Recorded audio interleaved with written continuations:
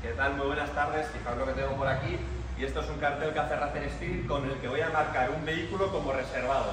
Esto es una idea que se la estoy cogiendo prestada a la gente de Autotrade de Madrid, que les mando un abrazo. La verdad que me fascinan todos sus vídeos. Tienen una colección y un stock brutal de, de compraventa. Son coches clásicos y modernos. Aquí, bueno, tenemos motos clásicas y, y somos del sector. Y la verdad que les cojo la idea prestada porque me gusta cómo lo, cómo lo hacen. Avanzamos por esta zona, por aquí dejamos las ondas clásicas a mano derecha, las tres por aquí están por ahora, aunque hay interesados, y acabamos en la Kawasaki GPZ 900R. Esta es la que se lleva el reservado, así que depositamos esto aquí, lo dejamos y explicamos un poco acerca de la moto. Esto es una moto impresionante, era de lo más rápido que había entonces, superaba los 200 holgadamente, año 85, GPZ 900R, un dueño, 33.000 kilómetros, matriculada nueva en nuestra ciudad, único propietario es que lo tiene todo, los colores bonitos, está estrictamente original, salvo por el escape 4.1 de la marca Vans Hines, que es una marca americana. Ahora mismo no podemos arrancar la moto porque se encuentra sin batería, pero la moto se va a entregar en perfecto orden de marcha para nuestro cliente. Lo que sí que voy a hacer y que para, y para que se pueda apreciar la moto en su totalidad, en una vista 360 grados, es que la voy a retirar de su lugar en la ubicación, de su ubicación en la exposición y avanzamos por aquí un poquito más adelante.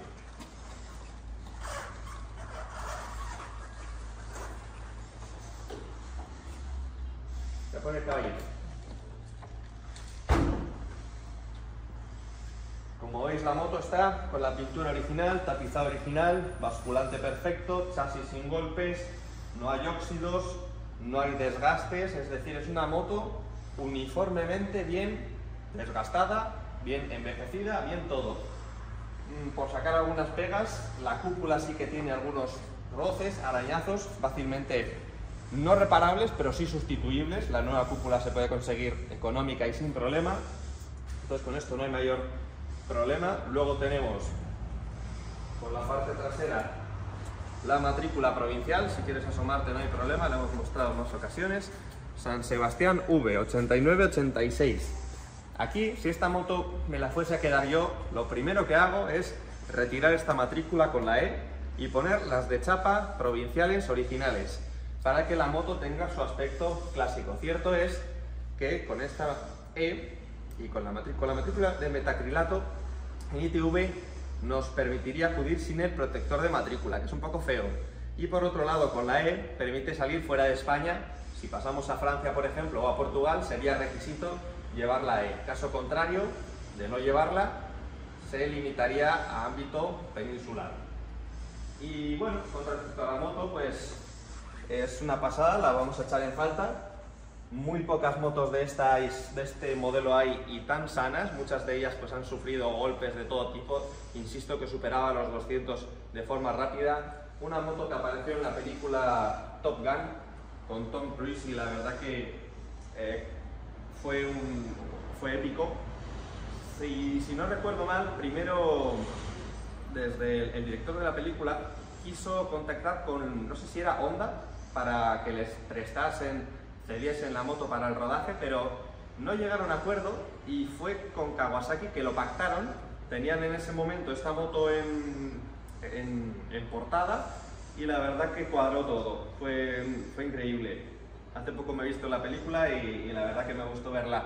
Eso sí, no era este mismo diseño, sino que era un poco más negra, con pegatinas. Es, hay una edición que es CPZ 900 Lo he dicho, se encuentra sin batería y habrá un segundo vídeo ya para entregarla al cliente.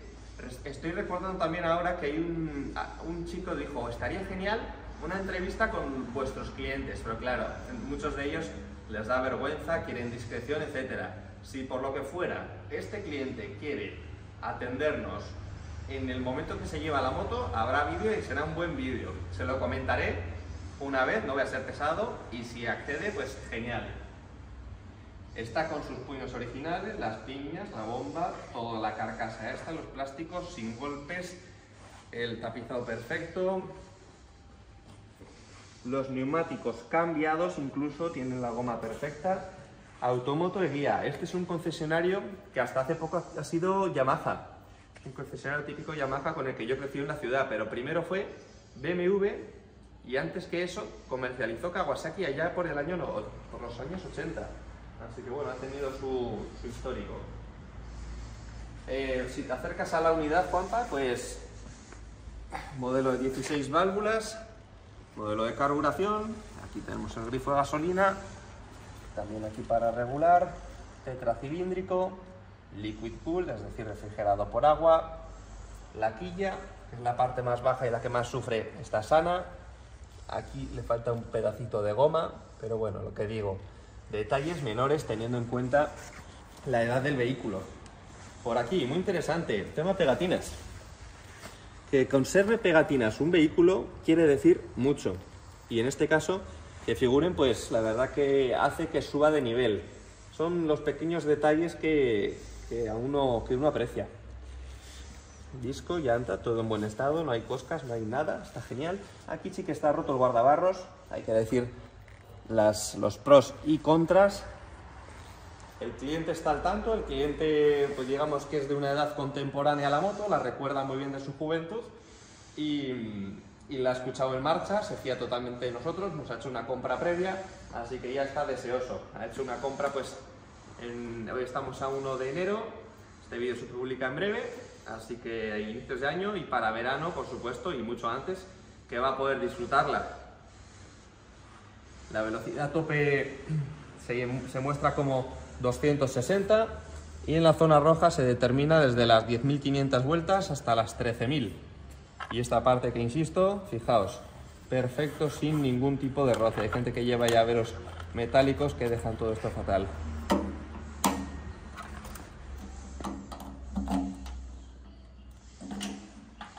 Perfecto, gasolina sí que tiene y bastante reciente porque con esta moto hace aproximadamente dos meses, tres, eh, salí a rodar con ella. La tenemos con ITV al día, con seguro al día y la verdad que todo genial. Espero que os haya gustado el vídeo y nos despedimos de la moto y de vosotros. Pues bueno, aquí tenemos la moto en activo.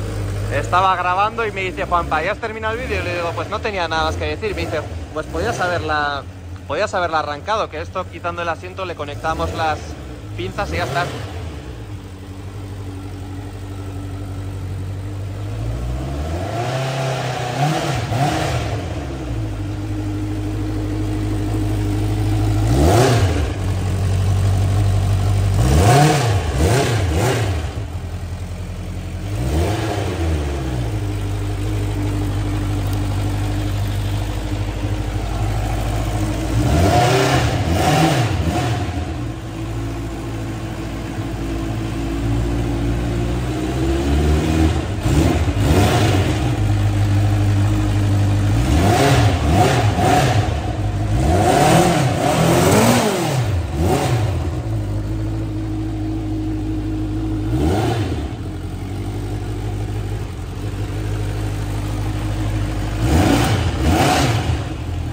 Perfecto.